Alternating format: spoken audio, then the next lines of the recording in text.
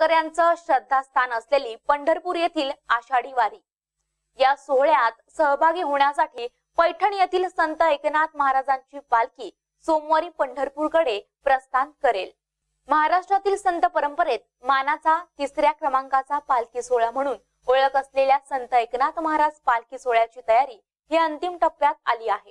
विविध संत महंतांच्या उपस्थितीत सोमवारी ही पालखी सायंकाळी साडेसहा वाजता पंढरपूर सोहळ्यासाठी प्रस्थान करेल. या सोहळ्यामध्ये मराठवाड्यातून छोट्या मोठ्या दिंड्या तसेच विशेषतः विदर्भातून हजारो महिला पुरुष वारकरी सहभागी होतात.